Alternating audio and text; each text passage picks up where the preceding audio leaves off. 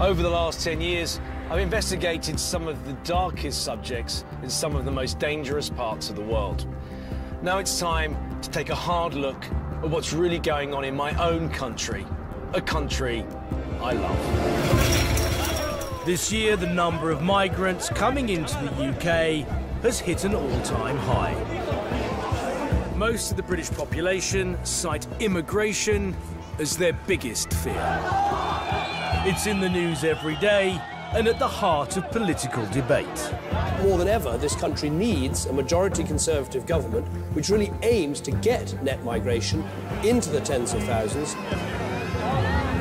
Asylum seeker, economic migrant, illegal migrant. We hear these words all the time, but few of us actually understand the differences between them. I want to find out who is coming into the country. أنا بعتذر منكم إنه أنا جيت. Sorry. The lengths they will go to stay here. I'll just change the name, change the photo, boom, crack on. And what impact they're having on the future of Britain. Ні в магазинах не беру, ну не крадемо нічого, ми абсолютно. Не знаю, за що нас звідси гнати з цієї держави.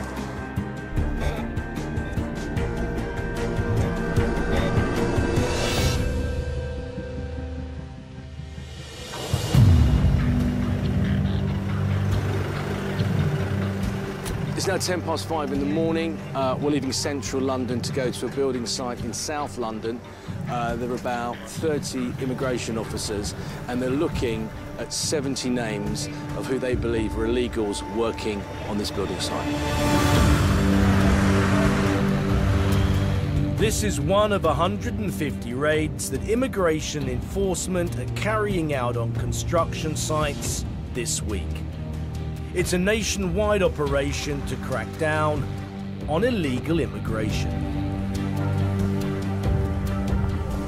The enforcement team has the cooperation of the owner of the construction site, but to avoid alerting labourers arriving for work, they are all wearing plain clothes. We position ourselves in a spot overlooking the security gate. Just down there are two undercover immigration officers posing as workers. They're going to direct the illegal migrants when they try to get through the gates, which have been barred, uh, to a health and safety briefing. Awaiting for them will be the um, immigration task force.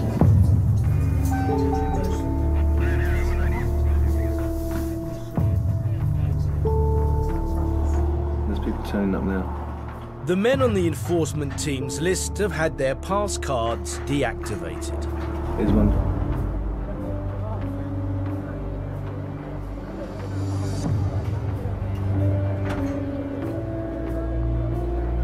Another one.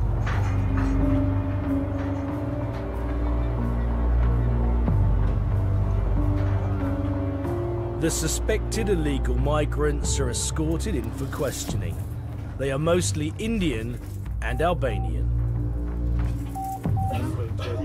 Why I'm taking your fingerprint is because you haven't provided us with any photo ID. So because you've said you've come on a visa, you should be known to us, okay? So 23 people are now being questioned by immigration enforcement, and they would say that on an average investigation, to have this many people being questioned now is quite a success for them. But obviously, these people have to be checked out, um, and some of them may be here legally, but others may not. So how long have you worked at this site, did you say, in total? Three months. Approximately, approximately three months. Three, yeah? three, four months. What's your nationality, please? Indian. Indian? Yeah. How'd you get into the UK? Long time. Wh- When? 2000. 2000? So you had a visa? No, no. Okay. So is this real or did you buy it? So again, tell me it's about- fake. You bought it. How much you paid for it? On a long time. Now, do you know what? I looked at that, glanced at it, and I wouldn't have known. That is an absolute fake forgery, yeah? Did you show any documents to the employer to say that you had permission to work? No. Has he stated how he got into the country? Yeah, hidden in the back of a lorry. Came in the back of a lorry. Does he say how long ago that was? Uh, back in August 2014. 2014. So he's been here over a year, yeah? This is your friend's bank card, yeah? Do you know you're here illegally at the moment then? Yes, I You do? I know. All right. Any children? Sorry? Children? No, no, no, no, no. Something I'm just becoming aware of that's happening in this room. A lot of the guys who are from India originally are a lot less concerned. They're, they're they're smiling, they're happy to give over information because they know, particularly if they've destroyed their documents, how hard it is to repatriate them back to India. On the other hand, I've got some Albanian guys to my right, and they're looking a lot less happy because of the relationship we have with the Albanian government in terms of people being repatriated. They can be repatriated very quickly within 48 hours. So the time is 7.32. You're now under arrest. You do not have to say anything, but it may harm your defence if you do not mention when questioned something you may later on in court. Anything you do say may be given in evidence. Do you understand? These people may be economic migrants, but without the correct paperwork, they are here illegally. These guys are going to be taken back to the immigration uh, centre and they're going to be processed, they're going to be questioned. So the guys are actually putting in the vehicles now. They think there's a strong case for repatriation. In total, 22 men are detained.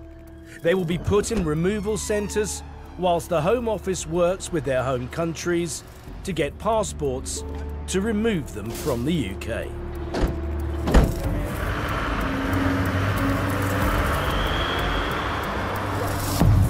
But it's not just the illegal workers who are under scrutiny. The subcontractors will be investigated too. If found guilty of knowingly hiring illegal migrants, they could face fines of up to £20,000 per worker. Paul Wiley is head of immigration enforcement for the south of England. One of the contractors here said to me, you know, you know, I understand why, why immigration are here, but you know what? They could go to any of the thousands and thousands of building sites across the UK and find the exact thing going on. I mean, how big a mountain are you faced with? So what we've got to use our enforcement teams for is to send a message. Frankly, we all know that we're not going to arrest our way out of the problem. Yeah. So this is about kind of being as visible as possible, as sending that message to the vast majority of illegal migrants that they need to kind of pack up and go. And that links to all of the things we're doing in terms of turning off driver licenses, closing bank accounts. Everything that we're doing is about making life hard here and using our arrest activity to show that actually you could be next.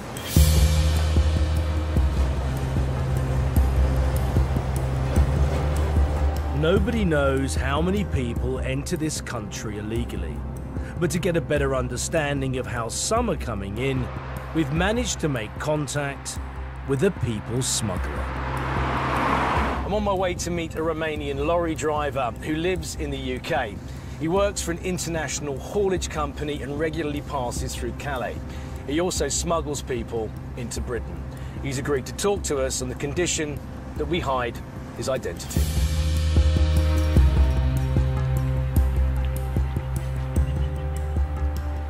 How do they pay you and how much do they pay you to transport people?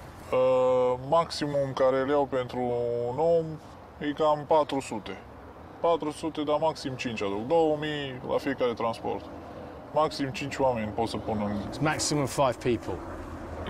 Why five? Why, why, why not six? Why not seven? Uh, 5 persoane se pot ascunde între marfă, se pot băga între paleți, se pot ascunde 5 persoane, mai mulți nu se pot ascunde. So, how do you pick the people up? When, where do you pick them up from? În Franța, într-o zonă industrială, nu departe de locul unde încarc, ies, unde mă parchez ca să fac pauză de 9 ore. Vine, deschide ușile, bagă 5 persoane, închide ușile, dar tot timpul e noapte, ca să ajung la Londra spre dimineață. Deci chestia asta, da, e... Deci eu dacă ar fi să mă prindă până și la vapor, dacă mă prinde pe linie, păi zic eu de unde să știu că eu am dormit. Do you worry about the sniffer dogs? Nu sunt grijorat de ei pentru că s-au inventat o grămadă de soluții care să dau pe ei și câinele nu îl poate mirosi. Do you feel guilty about what you do? Nu mă sunt vinovat, îmi vine să râd de chestia asta, pentru că fiecare are dreptul să aleagă o viață mai bună, dar ei nu pot să facă altceva decât să muncească, nu, nu vin să fure. Și nu vine nimeni că e bine acasă, că vine pentru o viață mai bună.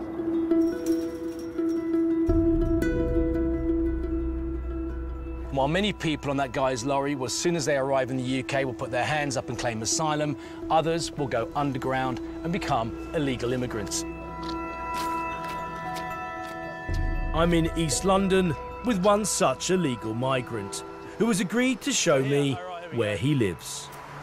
So, Andrei is from the Ukraine. Um, he's been living, I think, here for three months. He's actually been in the UK illegally for two years. It's good. Right. Andrei was a taxi driver back in the Ukraine, but by his own admission, he's an economic migrant here to make money. Whoa, whoa, whoa. You built this place, yeah? Is that right? Ta. And you put up the, the iconography, the Jesus and um, the Last Supper over there. Так, так, це все ми. Andrei, why are you living here? Я як приїхав сюди перший раз, перший раз я попав зразу на стройку робити. І я построїв цю будку, бо я не мав де жити. Я місяць часу в ній жив перший раз, як я приїхав. Потім я жив в нормальному домі, а потім, коли вже це все було, я повернувся назад. Why did you want to come to the UK? Ну, то саме більший заробіток. So how much money were you earning on your last job? Десь 400, 80, так. Do you send some of that back home to your family? Так, так, Do you have kids? Do you have a wife? так, так. And what do they think about you being here? М, Вони не знають. So what do you think is going to happen to change the situation and improve where you are right now? Це я не знаю, це просто в мене такий час. От я, я тому в неділю робив, так? У мене все, що, все йшло, мав взяти зарплату. Вкрали інструмент, зарплату не взяв, бо зарплату спихнули, типу, заради інструменту. Все, я хотів зняти хату. So do you think now, with hindsight, that you should have stayed with your family in Ukraine? Так думаю. Але це вже пізно, то що я думаю.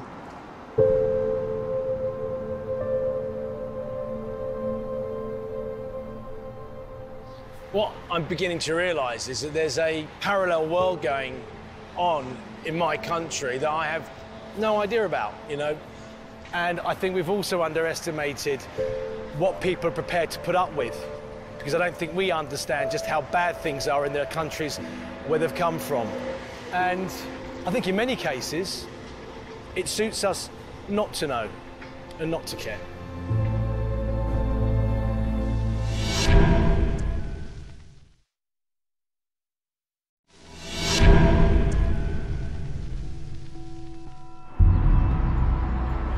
You're not from within the EU, then you can only live in the UK if you have a valid visa. Without one, you're here illegally. And unlike asylum seekers, many illegal immigrants are not fleeing war or persecution.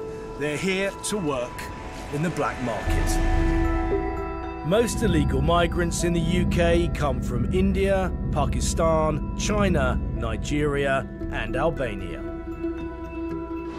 It's impossible to know exactly how many there are in Britain, although estimates range from 600,000 up to one and a half million. I've come to Southall in West London to meet immigration lawyer Harjap Bhangal. Just down the road from Heathrow, Southall has a well-established Asian community and many illegal migrants end up living here. How stressful is it living below the radar? Ross, to be honest, it's one of the most depressing things I've ever seen in my life because I'd never had exposure to any of this. Every night, these guys live in fear when a police siren goes past that, oh, immigration are going to come and raid us. You go to work and you come home. That literally is the life. You have no social life. You cannot interact with anyone because you don't want them to know too much about you because they'll grass you up. Mm. Right. So what you do is you go to work and you come home, and literally that's it. You're And what's your home like? Your home is like you could be sharing it with up to 10 to 12 people. You could be sharing your room with up to four people. So you literally would have four mattresses in four corners of a room. And um, it's not uncommon to have sheds here and house immigrants, say four in a shed. You can get about 800 quid a month for it. You get 1200 quid for a three bedroom house. So landlords are making about two grand a month on a house. And these people, they're sort of preying on, On their on own. vulnerable. On their own. On their own. Yeah. Of course, because they can't get legitimate housing because they can't work legitimately and pay taxes. So they're going to have to pay someone privately to live here. So what kind of jobs are these people doing? You know, bricklayers, labourers, just people working in factories, people working in beauty parlours, I mean, there's a lot of chefs, restaurants, waiters. And the majority of these people, are they single men or have they come with their families? Um, a lot of them are single men. They've got no identity, and it's a ghost community, as I call it. Harjap sees around 20 illegal immigrants a day who want to become legitimate UK citizens. They've come here to make a better life, and unfortunately, that hasn't worked out for them. But they can't go back because of the amount of money they've invested in this country, and um, you know they can't live here properly because they haven't got visas to stay here. A lot of people say that they're working in an illegal, an illegal market, Yeah. which is keeping people who want to work legitimately out of work. Yeah, but the jobs that they're doing, the jobs that are available, why aren't the British people f- uh, filling those? People will say because they're being taken up by illegals. No, they're not. It's because the welfare system in this country. The welfare system makes it more profitable to me at sit at home. If I've got four kids and I'll be get a house, I'll get a roof over my head, I'll get child benefit, I don't have to pay no council tax, I don't have to pay no rent, and it makes it more profitable. Why would I, if I'm getting £400 a week on benefits, want to go and work for 200 quid as a cleaner in central London? That's not the fault of the immigrants, and that's the question that immigrants ask time and time again. They say, you know what happens in our countries, and you've been there, Ross, if you don't work, what happens? You starve to death. Right? There's no welfare system in these countries. Mm. So they come with a work ethic of we're going to work or we're going to die. Mm. And they have no access to public funds. Remember, they can't go and make a claim on a national insurance number. What about if I'm, I'm an illegal here and I want to legitimise myself in some way? The advice we usually say is look, if you want to stay here, you have to have a valid reason why you want to stay here. You can't just stay here because you feel like staying here. So you must be a reason. Why can't you go back? Why can't you go and work in your own country? If there's a legitimate reason which we think falls within the rules, then we'll tell them to make an application. Now, most of these applications fail. How many people do you think you advise on a weekly basis not to make an application? About 80 to 85% of them because they don't fit in the rules. So if you stay here illegally and want to try and get settlement through that route, you have to stay here 20 years off the radar and have proof of that for every year you've been here before you can make a successful application. What they're saying is that you've got to stay here for 20 years working illegally in order for you to become legitimate, correct? Yeah.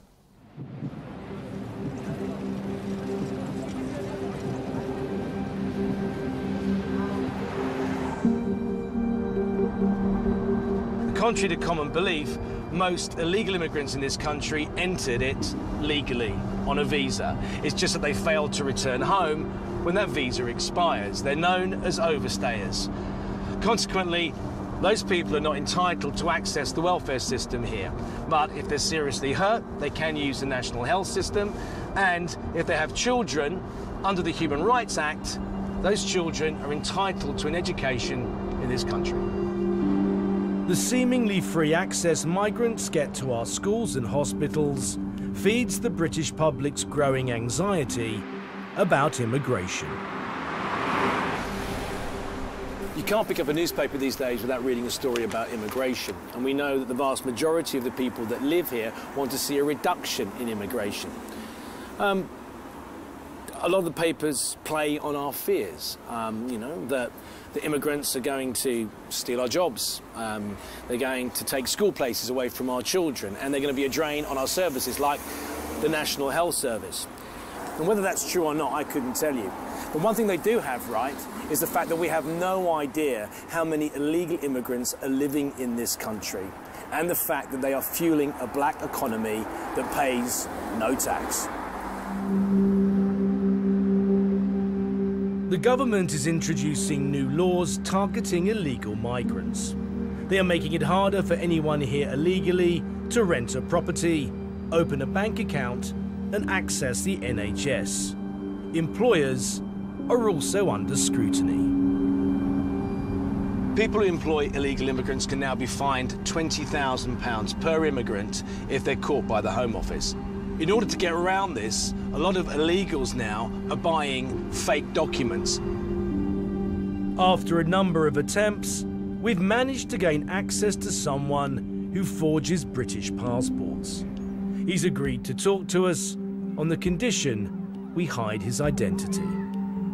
Originally from Nigeria, he came to the UK when he was six years old and has been running a counterfeit business for the past 10 years. Do you know how many passports you make a year? Minimum every week, five. Make five a week? Yes. And how much would it cost me to get a passport off you? We're looking 2K. £2,000. That's right. But the passport that you're going to get me, right. that wouldn't get me out of the country. It's not good enough for that. No way, no way, no way. Just for you to just get yourself, get your feet together within the country. That's what you could use it for. They don't want to work so hard and get so little wages. So basically, without one of your fake passports, Right. if I was working, let's say, in a pizza place, That's right. I'd be getting three pounds an hour. Once I turn up one of these, the owner could look at this. He'll pay him more money an hour. That's right. I've got someone that I had the name for over three, four years. They've got a provisional driving license on the name. So what you're saying? Once you get a provisional, you get a full license. That's You get right. a full license. You get a photograph. That's right. And Yes. you now apply for a mortgage. They can apply for a credit card. They even have an HP on. And hire purchase. That's right, on the car. How how do you make them? It's very simple. I've got my actual computer that does them because I have a template already for the for the actual passport. So when they come with the profile, I'll just change the name, change whatever thing Put the new photograph in there. change the photo, boom, crack on, and then what, what comes out next is something like this. How do you get the profiles? I'll go to people that I know, like they've not got nothing, they're drug head or they're alcoholic. Then I'll tell them how much I'll give to them, and they'll not turn it down because they're desperate for, the it. money. Yes. So I'll take the passport from them. All I just need to do is a bit of picture changing. That's all. little bit of that. Yeah, picture changing. That's about it. So there's a lot of people out there living in completely different profiles to the one they actually really are. Thank you. Definitely. Tough laws are one way of cracking down on migration, but then you run the risk of pushing people further into the hands of criminals. Whilst making it harder for illegal migrants to live here, the government is also encouraging them to leave of their own accord. I'm just about to go to a surgery that's run by the Home Office and the local community here. There are around 30 of them in London, and their aim is basically to get people who are illegals to come forward and assist them to get back to their home country. This one is being held in a Gurdwara, a Sikh temple. I've done this before, but uh, generally with Boys in the Hood. Although it's held in a Sikh temple, the surgery is open to people of every religion and nationality. By coming here and making themselves known to the government, the migrants avoid the risk of being arrested and detained.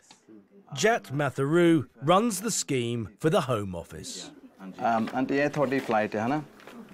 This, this couple have like been in the UK for a considerable amount of time. They've overstayed their visa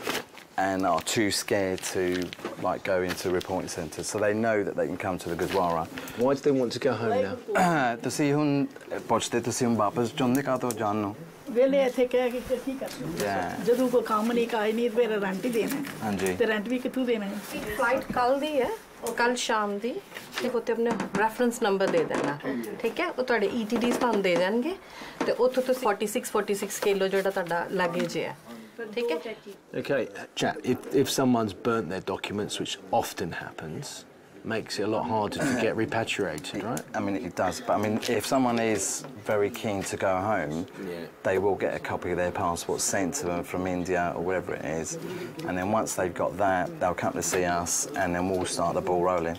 किसी visa लेके आए सके Visa? Can कितने छह me का visa? Can किधर मिला सी थानू right so yeah so you enter, enter the UK with a with a 6 month tourist visa. visa um, and overstay since. What How long, how long have you been here, man? Uh, last nine years to You've been here nine years. Why, why do you want to go home now? uh, because now situation is okay there so that's why I, I want to start there my own business something And the majority of them, when they do come to surgery, we've noticed that they are buying their own ticket. Are they? so we are very thankful to uh, UK government because they are giving the best advice to go back to their home country Not many people thank the British government, so there you go. yeah. Thank, thank you, Ronnie. Since the surgery was set up in 2009, they have helped repatriate over 500 people. Some people may be thinking, hang on, these people have, have, worked here, they've lived here, they've paid no tax, and now the government's either helping them or paying for them to go back home. Well, the fact is, this system costs around £1,000 a person. If you forcibly deport someone, it's around £15,000 per person. So, this system clearly works, and I think it should be adopted more widely.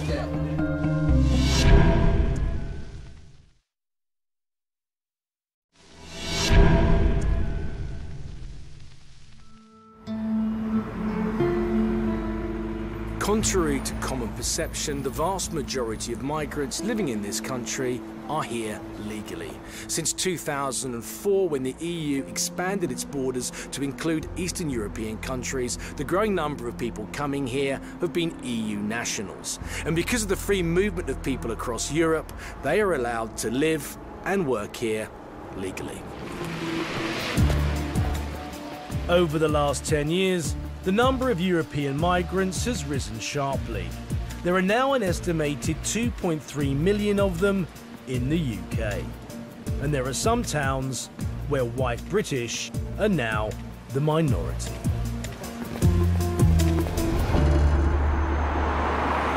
I'm at a banana packing plant in Luton. Um, the majority of the people who work here are from Eastern Europe and their shift's about to start it's 5.30 in the morning. Simon? Morning, boss. Nice Come to in. meet you, mate. How are you? Coming through. Simon Bianchi is head of operations and has been working at the company for the past 24 years. In that time, he has seen big changes in the workforce. So how many people do you, you employ are actually born and bred in the UK? In terms of everybody we use with drivers and an office staff, 30 up to 40 maximum. 40 out of how many? 300. How much do these people earn an hour? Uh, we pay just above minimum wage. Just above minimum wage. Why aren't there more British people doing this job?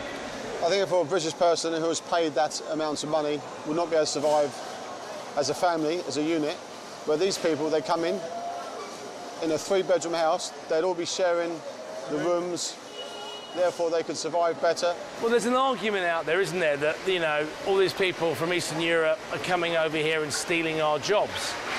Do you think that's true? I've seen people come before, um, they've, they've worked an hour and they've taken off their hi-vis. I'm not prepared to do it for that amount What? of money. What, Br British, people? Yes, yeah? yes. You've actually had British people walk off, Yeah, uh, off yeah, the job? Yeah, which is, for me, unbelievable. This factory employs 33 different nationalities, and although most of the workers are from Eastern Europe, since the Euro crisis, there are more and more people from countries like Spain and Portugal. Rudy came over from Greece three years ago and has worked here ever since. Ludi, how are you? Yes. Oh, I'm fine. Uh, because of crisis in, Gre- in Greece, Yeah. it's difficult there for job. Yeah. So I'm here with my son because my son is study here. Yeah. Yes, and I'm working to help my family. If you were living back in Greece, Yes. would you have a job like this or a different job? No. There I have a shop with my husband. All right. My shop uh, closed.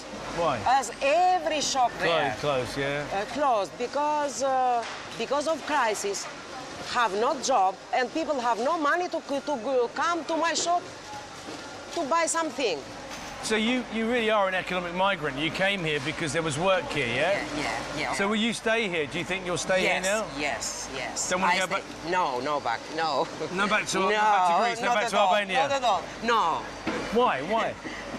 The weather's nice. The weather's nicer in Greece.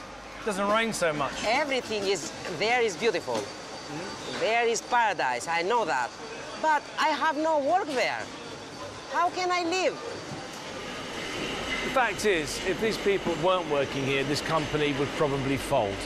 So you've got to commend the people that work here. You know, they're doing a job that other people seemingly don't want to do, and they work really hard. They're contributing to my country. They pay tax here. They pay VAT on everything that they buy. Um, so what's wrong with that? Well, what's wrong for many British people is that they believe migrants are a serious threat to our national identity. Founder of current affairs magazine Prospect and once pro immigration, David Goodhart has now written a book arguing that it's having a negative effect on Britain. What impact is immigration having presently on the UK? You know, societies are very complicated things. We're, we're not just random collections of individuals. You know, we have certain cultural norms that just come automatically to people that don't come automatically necessarily to people from other countries, particularly if they're coming from very traditional societies, often Muslim societies, where people have very different attitudes, very different ideas of right and wrong, very different attitudes to, to women. So there's a sort of divergence, but you know we're becoming increasingly liberal. Mainstream British norms are becoming increasingly liberal. Quite a few of the people that are coming into the society are very traditional. But also Um, culturally, isn't that part of what we're about? We're British, aren't we? So we are a mismatch of Celts, Anglo-Saxons. We are, yeah, yeah, and and we have a French, and we have a great tradition of openness. Um, but you know, it is possible to be too open, and then people will become closed. You know, if your if your external borders are too open, then you kind of you bring the borders into the country. You know, you have a thousand little fortresses, uh, and everyone lives in their own little world, and that's that's what I worry about. Is that what you believe? Your fear is, is that we're, we My fear will- is that, that you know that if you're too open, if you have too much ghetto- change and diversity, it will be ghettoised. ghettoized. Do you think then that the, the past governments, the agenda of having a multicultural society, that has been a detriment in terms of our national identity? I think what was a decent instinct in the 1960s, by the 1980s or the 1990s, had encouraged a It kind changed. of separatism. It, it was sort of saying, you know, you go, you go off and do your own thing separately from the British mainstream, and that is absolutely fine.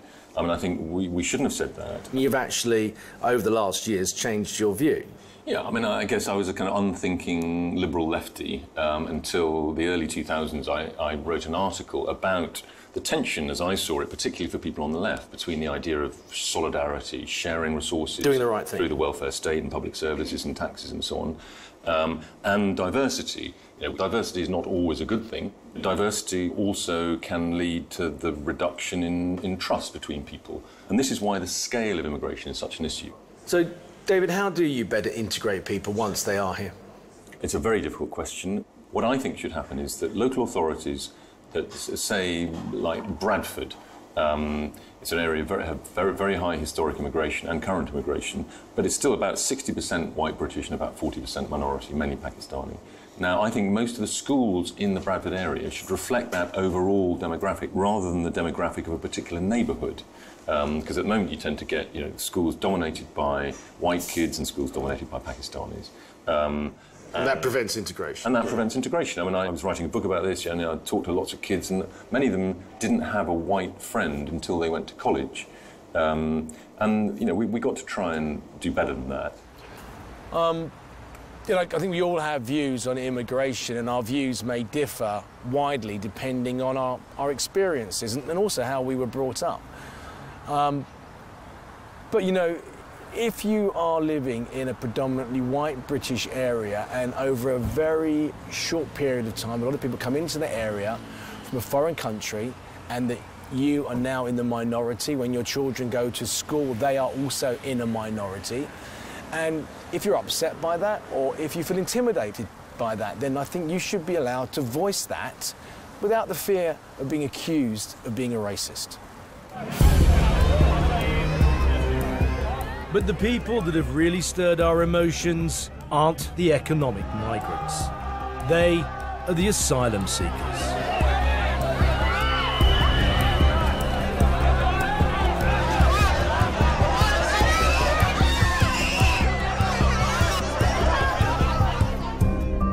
They are fleeing conflicts like the ones in Syria and Afghanistan, political unrest in places like Pakistan, and dictatorships like the one in Eritrea. They travel over 2,000 miles across Europe and into the UK. It's estimated that around 8,000 migrants try to make it into Europe every day. But the fact is that Britain receives less asylum applications than nearly every other country in Europe. France and Italy receive twice the amount, and Germany six times the amount. Asylum Link is a charity based in Liverpool that offers practical help to asylum seekers from all over the world. Today, tomorrow, today, yesterday. About 200 people pass through its doors every day. Turn to the right.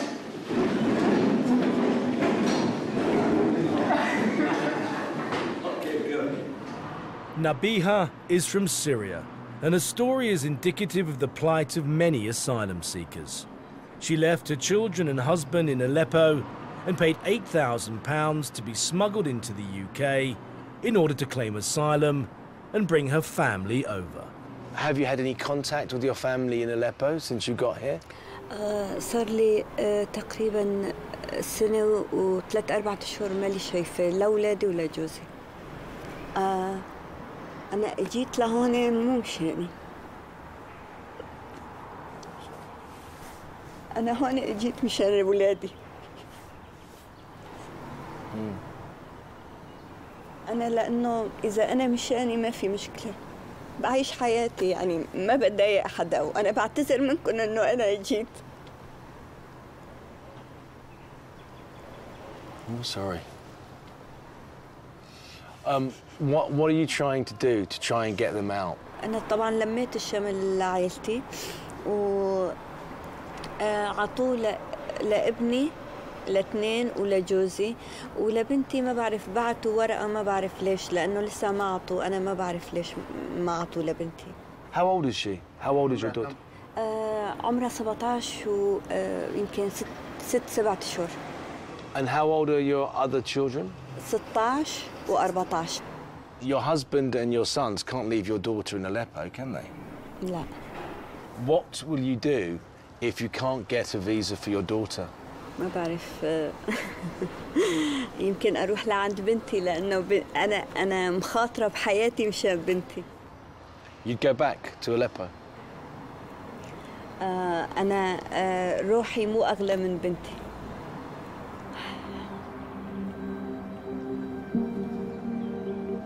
That woman is absolutely racked with pain and maybe guilt even that she can't get her kids out of a war zone.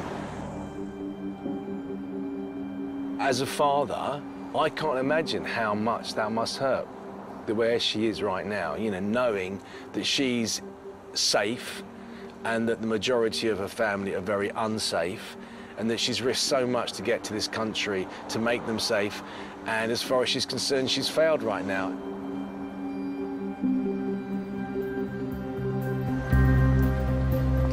Over the next five years, the government has pledged to take in 20,000 Syrians.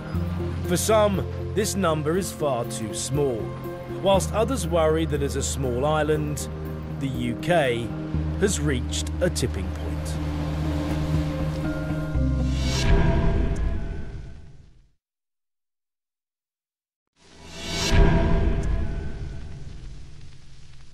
As soon as an asylum seeker arrives in the UK, they are meant to claim asylum, preferably to an immigration officer. After the initial screening interview, they are then housed by the Home Office in properties across the UK, but not in the southeast. And while their application is being processed, the asylum seeker is not allowed to work, but they do receive £5 a day to live off. Many asylum seekers are sent to cities in the north like Liverpool because housing is cheaper. Here at Asylum Link, Ewan Roberts has been helping people with their asylum claims for the past 10 years. There's a massive misconception in terms of just how many asylum seekers there are in this country. I mean, how many? Do you know? For all the migrants coming into the UK, asylum seekers account for less than 4%. It's a tiny, tiny figure. We shouldn't be worried about asylum seekers. The question we should be asking ourselves is why are there not more?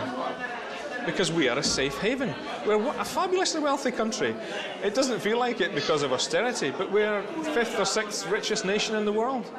We've got great infrastructure, we've got stable government, we have fantastic systems of education and health. We should be giving this to other people. Do you think the system is actually designed in order to dissuade people from coming here? Very much so. Very much so. And you see that echoed in, in the government's attitude towards Syria. It's laudable, it's great that we're sending money to the camps because that's required, but it, it almost feels like we're sending it to keep you over there. Because the attitude of people to supporting refugees abroad to the different attitude when an asylum seeker arrives here, because it's the same person, it's the same thing. It's, it's almost 100% reversed. If an asylum claim is successful, that person is granted refugee status for five years, after which the Home Office will review their case. More than half of all cases are rejected. Some of those will leave the country voluntarily, but most will go underground and become illegal. With more people coming in than ever before, the question that has to be asked is, can we afford to take any more people in? I've come to the Migration Observatory in Oxford. It's part of the university and provides independent research on immigration. Madeleine Sumption is the director. Is Britain changing because of immigration? Well, certainly immigration has affected the UK. It's now a much larger share of the UK's population, about 13%. Uh, that's a larger share than it was in the past. If you go back uh, 10 or 20 years, it was uh, more like 6 or 7%. So it's doubled. And there are certain areas of the country that have been affected more and where immigration is much more visible. So, a place like London, for example, has been the major destination for migrants in the UK. There are also some areas, like, for example, Boston and the East Midlands, that experience a lot more immigration in the last 10 or 15 years than they had previously. In, in terms of, you know, the drain of the National Health Service, um, in terms of taxation, basically, you know, Mhm. do they cost more money to the British economy or do they make more money? From an economic perspective, most of the evidence suggests that the impacts of immigration are, relatively small, probably positive. Are the current levels of immigration into this country, both legal and illegal, sustainable? If you look at the economic impacts, whether, for example, jobs can be created for the numbers of people coming in, um, then yes, most of the evidence suggests that when there's more immigration, there's also more job creation to accommodate those people. Um, other people might think of sustainability in different ways. I, I think sustainability in terms of are we at saturation point is enough enough and should we should we stop people coming into the country? Well, different countries have different levels of population density, and there isn't necessarily any evidence that uh, countries with higher population density do better or worse than countries with lower population density. So at the end of the day, it, it may be more important not necessarily kind of what is the exact number of people, but uh, whether the country has policy responses that enable us to uh, expand services and uh, provide for the integration of those people. I didn't make this film to change anyone's opinion on immigration. I just wanted to clear up who was coming to my country. Overall, immigration is economically beneficial to the United Kingdom, but we don't think of immigration only in terms of economics. It's a highly emotional subject that raises questions of our national identity, concerns of overcrowding, and fears of terrorist attacks. I believe we are richer for being diverse, but that diversity shouldn't come at the cost of segregation or a lack of integration. I can only hope that anyone that comes to my country would treat it as I would treat theirs, and that is to respect its culture and abide by its laws.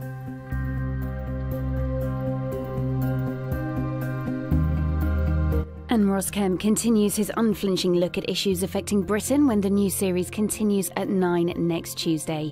And why not add it to your planner now?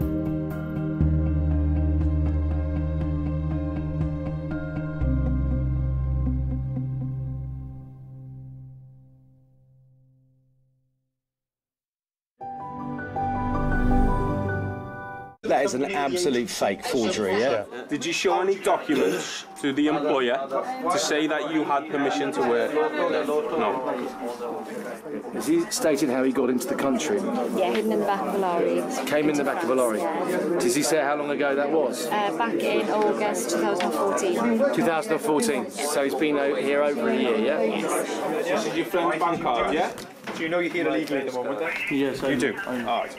Any children? Sorry? Children? No, no, no, no, no. Something I'm just becoming aware of that's happening in this room. A lot of the guys who are from India originally are a lot less concerned. They're, they're they're smiling, they're happy to give over information because they know, particularly if they've destroyed their documents, how hard it is to repatriate them back to India.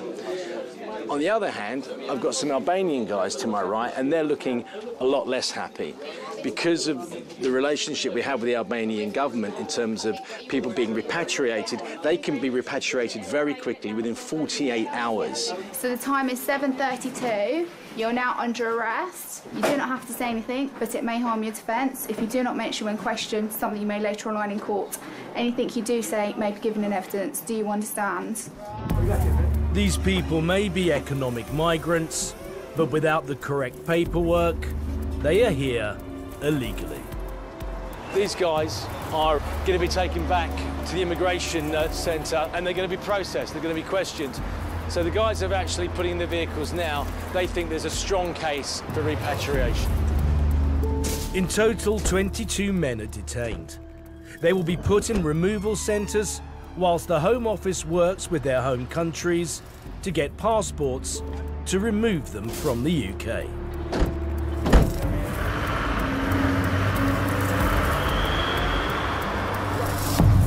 But it's not just the illegal workers who are under scrutiny. The subcontractors will be investigated too. If found guilty of knowingly hiring illegal migrants, they could face fines of up to £20,000 per worker. Paul Wiley is head of immigration enforcement for the south of England. One of the contractors here said to me, you know, you know, I understand why why immigration are here, but you know what? They could go to any of the thousands and thousands of building sites across the UK and find the exact thing going on. I mean, how big a mountain are you faced with? So what we've got to use our enforcement teams for is to send a message. Frankly, we all know that we're not going to arrest our way out of the problem. Yeah. So this is about kind of being as visible as possible, as sending that message to the vast majority of illegal migrants that they need to kind of pack up and go. And that links to all of the things we're doing in terms of dr- turning off driving license. Illegals? No, they're not. It's because the welfare system in this country. The welfare system makes it more profitable to me at sit at home. If I've got four kids and I'll be get a house, I'll get a roof over my head, I'll get child benefit, I don't have to pay no council tax, I don't have to pay no rent, and it makes it more profitable. Why would I, if I'm getting £400 a week on benefits, want to go and work for 200 quid as a cleaner in central London? That's not the fault of the immigrants, and that's the question that immigrants ask time and time again. They say, you know what happens in our countries, and you've been there, Ross, if you don't work, what happens? You starve to death. Right? There's no welfare system in these countries. So they come with a work ethic of we're going to work or we're going to die. Mm. And they have no access to public funds. Remember, they can't go and make a claim on a national insurance number. What about if I'm, I'm an illegal here and I want to legitimise myself in some way? The advice we usually say is look, if you want to stay here, you have to have a valid reason why you want to stay here. You can't just stay here because you feel like staying here. So you must be a reason. Why can't you go back? Why can't you go and work in your own country? If there's a legitimate reason which we think falls within the rules, then we'll tell them to make an application. Now, most of these applications fail. How many people do you think you advise on a weekly basis not to make an application? About 80 to 85% of them because they don't fit in the rules. So if you stay here illegally and want to try and get settlement through that route, you have to stay here 20 years off the radar and have proof of that for every year you've been here before you can make a successful application. What they're saying is that you've got to stay here for 20 years working illegally in order for you to become legitimate, correct? Yeah.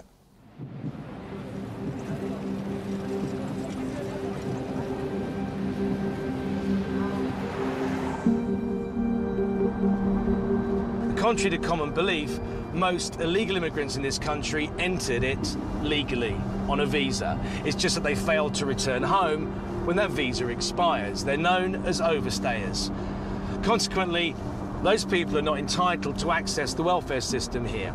But if they're seriously hurt, they can use the National Health System.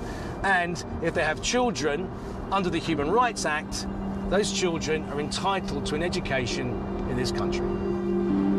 The seemingly free access migrants get to our schools and hospitals feeds the British public's growing anxiety about immigration. You can't pick up a newspaper these days without reading a story about immigration. And we know that the vast majority of the people that live here want to see a reduction in immigration.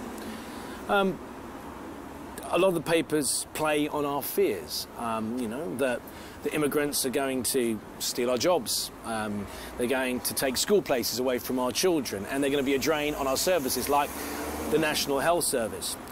And whether that's true or not, I couldn't tell you. But one thing they do have right is the fact that we have no idea how many illegal immigrants. And want to try and get settlement through that route, you have to stay here 20 years off the radar and have proof of that for every year you've been here before you can make a successful application. What they're saying is that you've got to stay here for 20 years working illegally in order for you to become legitimate, correct? Yeah.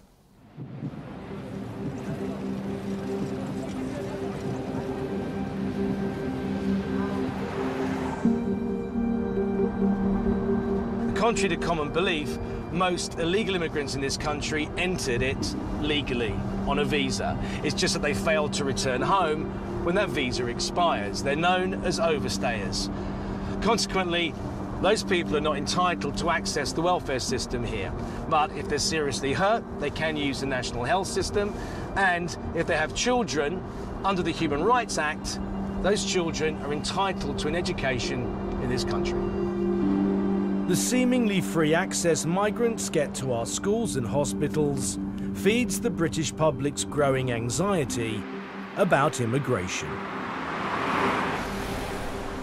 You can't pick up a newspaper these days without reading a story about immigration. And we know that the vast majority of the people that live here want to see a reduction in immigration.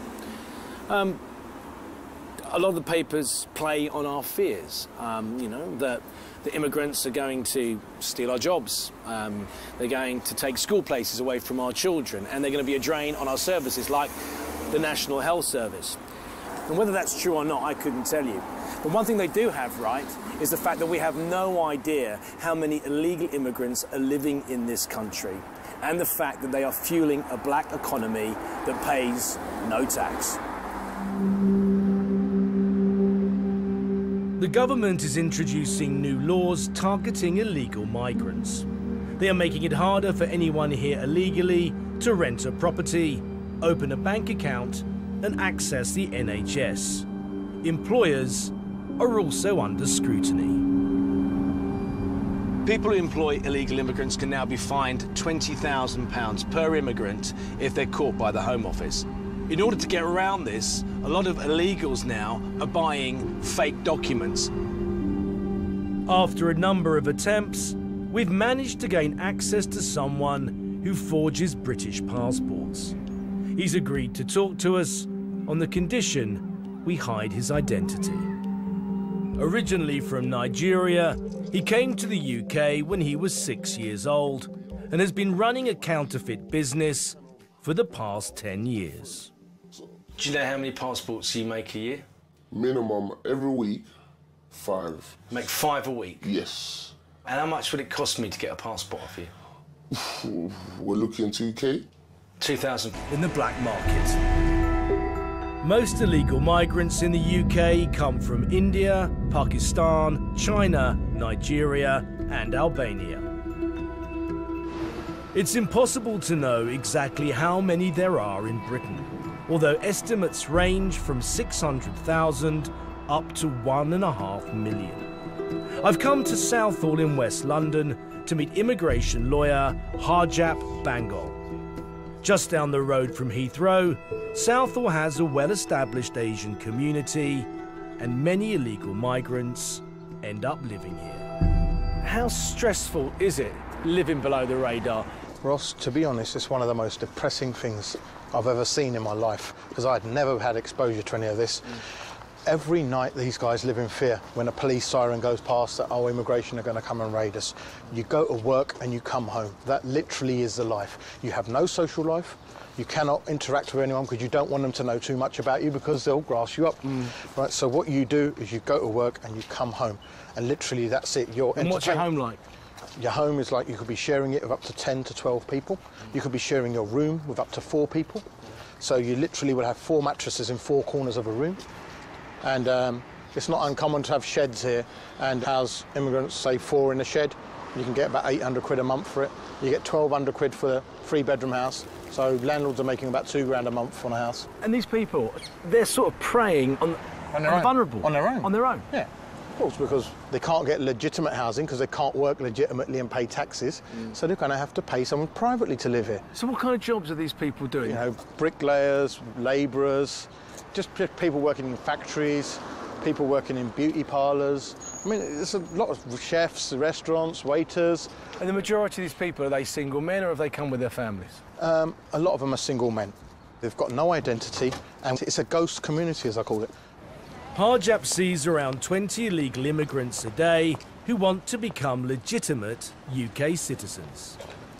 They've come here to make a better life, and unfortunately, that hasn't worked out for them. But they can't go back because of the amount of money they've invested in this country, and um, you know th- they can't live here properly because they haven't got visas to stay here. A lot of people say that they're working in an illegal, an illegal market, Yeah. which is keeping people who want to work legitimately out of work. Yeah, but the jobs that they're doing, the jobs that are available, why aren't the British people f- uh, filling those? People will say because they're being taken up by illegals. No, they're not. It's because the welfare system in this country. The welfare system makes it more profitable to me at sit at home. If I've got four kids and I'll be get a house, I'll get a roof over my head, I'll get child benefit, I don't have to pay no council tax, I don't have to pay no rent, and it makes it more profitable. Why would I, if I'm getting £400 a week on benefits, want to go and work for 200 David Goodhart has now written a book arguing that it's having a negative effect on Britain. What impact is immigration having presently on the UK? You know, societies are very complicated things. We're, we're not just random collections of individuals. You know, we have certain cultural norms that just come automatically to people that don't come automatically necessarily to people from other countries, particularly if they're coming from very traditional societies, often Muslim societies, where people have very different attitudes, very different ideas of right and wrong, very different attitudes to, to women. So there's a sort of divergence, but you know we're becoming increasingly liberal. Mainstream British norms are becoming increasingly liberal. Quite a few of the people that are coming into the society are very traditional. And also Um, culturally, isn't that part of what we're about? We're British, aren't we? So we are a mismatch of Celts, Anglo-Saxons. We are, yeah, yeah, and and we have a French, and we have a great tradition of openness. Um, but you know, it is possible to be too open, and then people will become closed. You know, if your if your external borders are too open, then you kind of you bring the borders into the country. You know, you have a thousand little fortresses, uh, and everyone lives in their own little world, and that's that's what I worry about. Is that what you believe? Your fear is, is that we're, we My fear is that, that you know that if you're too open, if you have too much ghetto- change and diversity, it will be ghettoized. Do you think then that the, the past governments, the agenda of having a multicultural society, that has been a detriment in terms of our national identity? I think what was a decent instinct in the 1960s, by the 1980s or the 1990s, had encouraged a kind of separatism. It, it was sort of saying, you know, you go, you go off and do your own thing separately from the British mainstream, and that is absolutely fine. I mean, I think we, we shouldn't have said that. You've actually, over the last years, changed your view. Yeah, I mean, I guess I was a kind of unthinking liberal lefty um, until the early 2000s. I, I wrote an article about the tension, as I saw it, particularly for people on the left, between the idea of solidarity, sharing resources, Doing the right thing. through the welfare state and public services and taxes and so on, um, and diversity. You know, diversity is not always a good thing. Diversity also can lead to the reduction in, in trust between people, and this is why the scale of immigration is such an issue.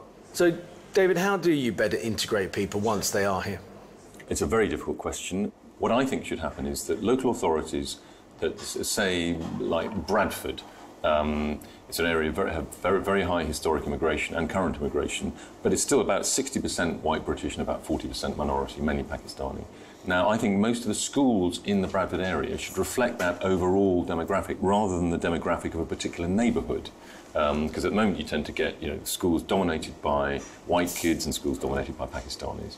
Um, And that prevents integration. And that prevents integration. I mean, I was writing a book about this, and I talked to lots of kids, and many of them didn't have a white friend until they went to college. Um, and, you know, we, we got to try and do better than that. Um, you know, I think.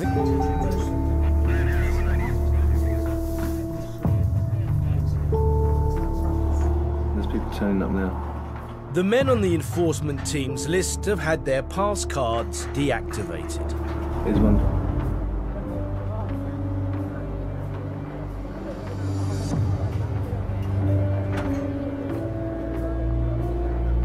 Another one.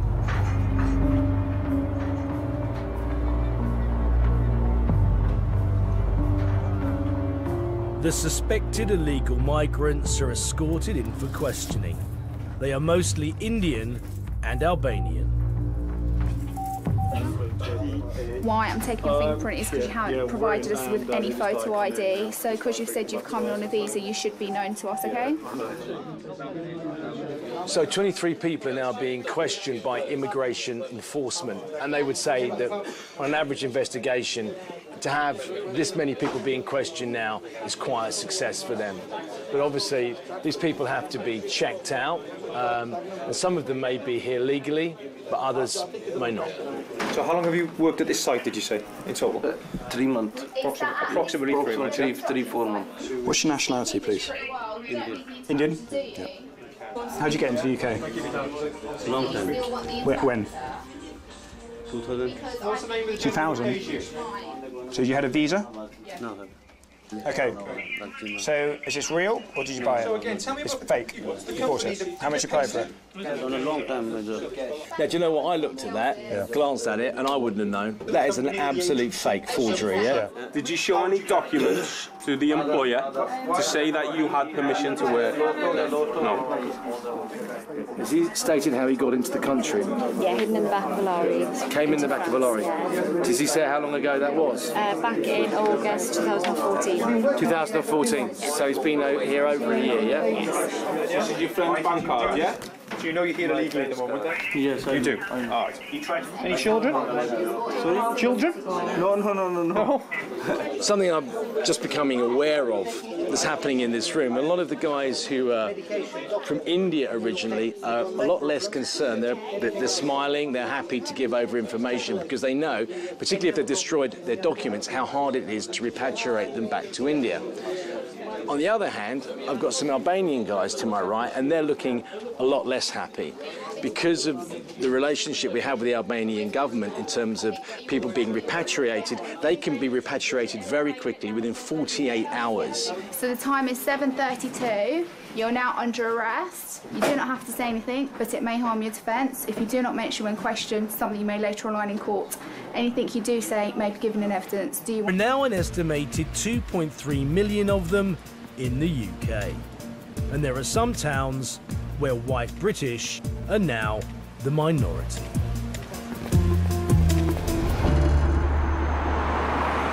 I'm at a banana packing plant in Luton. Um, the majority of the people who work here are from Eastern Europe, and their shift's about to start. It's 5.30 in the morning. Simon? Morning, boss. Nice Come to in. meet you, mate. How are you? Coming through. Simon Bianchi is head of operations and has been working at the company for the past 24 years. In that time, he has seen big changes in the workforce. So, how many people do you, you employ are actually born and bred in the UK? In terms of everybody we use with drivers and an office staff, 30 up to 40 maximum. 40 out of how many? 300. How much do these people earn an hour? Uh, we pay just above minimum wage. Just above minimum wage. Why aren't there more British people doing this job? I think if a British person who is paid that amount of money would not be able to survive as a family, as a unit, where these people, they come in in a three-bedroom house, they'd all be sharing the rooms, therefore they could survive better. Well, there's an argument out there, isn't there, that, you know, all these people from Eastern Europe are coming over here and stealing our jobs. Do you think that's true? I've seen people come before, um, they've, they've worked an hour and they've taken off their hi-vis. I'm not prepared to do it for that amount of money. What, Br- British, people? Yes, yeah? yes. You've actually had British people walk off Yeah, uh, the yeah, job? Yeah, which is for me, unbelievable. This factory employs 33 different nationalities, and although most of the workers are from Eastern Europe, since the Euro crisis, there are more and more people from countries like Spain and Portugal. Rudy came over from Greece three years ago and has worked here ever since. Ludi, how are you? Yes. Oh, I'm fine. Uh, because of crisis in, Gre- in Greece, Yeah. it's difficult there for job. Yeah. So I'm here with my son because my son is study here. Yeah. Yes, and I'm working to help my family. If you were living back in Greece, Yes. would you have a job like this or a different job? No, there I have a shop with my husband. All right. And my shop uh, closed. Why? As every shop there. Close, close, yeah. uh, closed because uh, because of crisis have no job and people have no money to, to come to my shop to buy something So you, you really are an economic migrant. You came here because there was work here, yeah? yeah yeah So will you stay here? Do you think you'll stay yes, here now? yes yes Don't wanna I go back- no no back no No back to, no, back to Greece. No not- back- Family over.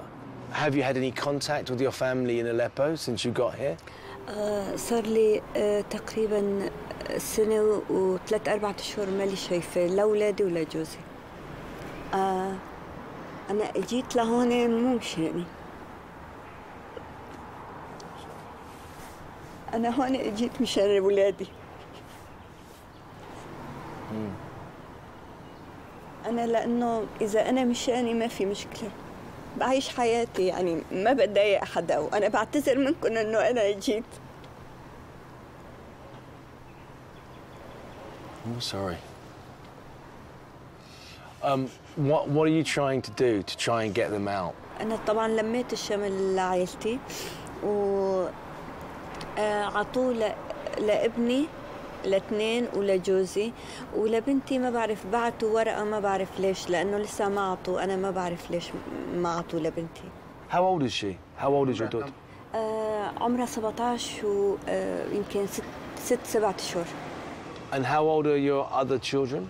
16 و14 Your husband and your sons can't leave your daughter in Aleppo, can they? لا What will you do if you can't get a visa for your daughter? ما بعرف آه، يمكن أروح لعند بنتي لأنه ب... أنا أنا مخاطره بحياتي مشان بنتي You'd go back to Aleppo. آه، أنا آه، روحي مو اغلى من بنتي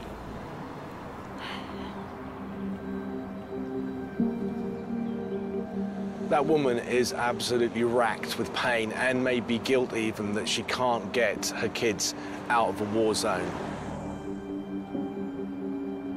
As a father, I can't imagine how much that must hurt the way she is right now, you know, knowing that she's safe and that the majority of her family are very unsafe and that she's risked so much to get to this country to make them safe. And as far as she's concerned she's failed right now.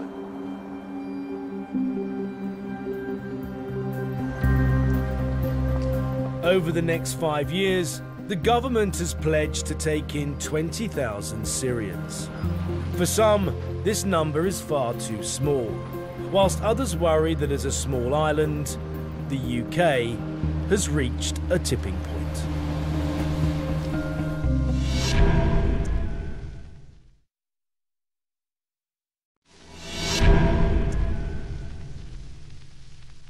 As soon as an asylum seeker arrives in the UK, they are meant to claim asylum, preferably to an immigration officer. After the initial screening interview, they are then housed by the Home Office in properties. Um, every week, five. Make five a week? Yes. And how much would it cost me to get a passport off you? We're looking 2K. £2,000. That's right. But the passport that you're going to get me, That's right. that wouldn't get me out of the country. It's not good enough for that. No way, no way, no way. It's just for you to just get yourself, get your feet together within the country. That's what you could use it for. They don't want to work so hard and get so little wages. So basically, without one of your fake passports, Right. if I was working, let's say, in a pizza place, That's right. I'd be getting three pounds an hour. Once I turn up one of these, the owner could look at this. He'll pay him more money an hour. That's right. I've got someone that I had the name for over for three, four years. They've got a provisional driving license on the name.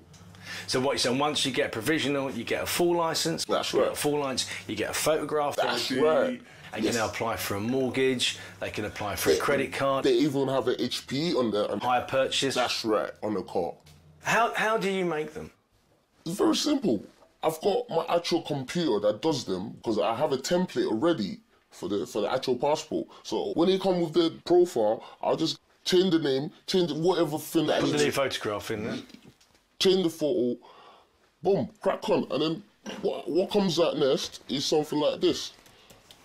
How do you get the profiles? I'll go to people that I know, like they've not got nothing, they're drug or they're alcoholic. Then I'll tell them how much I'll give to them, and they will not turn it down because they're desperate for, the it. money. Yes. So I'll take the passport from them. All I just need to do is a bit of picture changing. That's all. A little bit of that. Yeah, picture changing. That's about it. So there's a lot of people out there living in completely different profiles to the one they actually really are. Thank you. Definitely. Tough laws are one way of cracking down on migration, but then you run the risk of pushing people further into the hands of criminals. Whilst making it harder for illegal migrants to live here, the government is also encouraging them to leave of their own accord. I'm just about to go to a surgery that's run by the Home Office and the local community here. There are around 30 of them in London, and their aim is basically to get people who are illegals to come forward and assist them to get back to their home country. This one is being held in a Gurdwara, a Sikh temple. I've done this before, but uh, generally with Boys in the Hood. Although it's held in a Sikh temple, the surgery is open to people of every religion and nationality. By coming here and making themselves known to the government, the migrants avoid the risk of being arrested and detained. Jat Matharu runs the scheme for the Home Office. You should be known to us, okay? So 23 people are now being questioned by immigration enforcement, and they would say that on an average investigation, to have this many people being questioned now is quite a success for them. But obviously, these people have to be checked out, um, and some of them may be here legally, but others may not. So how long have you worked at this site, did you say, in total? Three months. Approximately, approximately three months. Three, four months. What's your nationality, please? Indian. Indian? Yeah. How'd you get into the UK? Long time. Wh- When? 2000. 2000? So you had a visa? No, sir. Okay. So is this real or did you buy it? So again, tell me it's about- fake. You bought it. How much you paid for it? On a long time. uh, Now, do you know what? I looked at that, glanced at it, and I wouldn't have known. That is an absolute fake forgery, yeah? Did you show any documents to the employer to say that you had permission to work? No. Has he stated how he got into the country? Yeah, hidden in the back of a lorry. Came in the back of a lorry. Does he say how long ago that was? Uh, back in August 2014. 2014. So he's been here over a year, yeah? Yes. This is your bank card, yeah? Do you know you're here illegally at the moment then? Yes, I You do? I know. All right. Any children? Sorry? Children? No, no, no, no, no. Something I'm just becoming aware of that's happening in this room. A lot of the guys who are from India originally are a lot less concerned. They're, they're they're smiling, they're happy to give over information because they know, particularly if they've destroyed their documents, how hard it is to repatriate them back to India. On the other hand, I've got some Albanian guys to my right, and they're looking a lot less happy because of the relationship we have with the Albanian government in terms of people being repatriated. They can be repatriated very quickly within 48 hours. So the time is 7.32. You're now under arrest. You do not have to say anything, but it may harm your defence. If you do not mention when questioned, something you may later on learn in court. Anything you do say may be given in evidence. Do you understand? These people may be economic migrants, but without the correct paperwork, they are here illegally. These guys are going to be taken back to the immigration uh, centre and they're going to be processed, they're going to be questioned. So the guys are actually putting in the vehicles now. They think there's a strong case for repatriation. In total, 22 men are detained. They will be put in removal centres whilst the Home Office works with their home countries to get passports to remove them from the UK.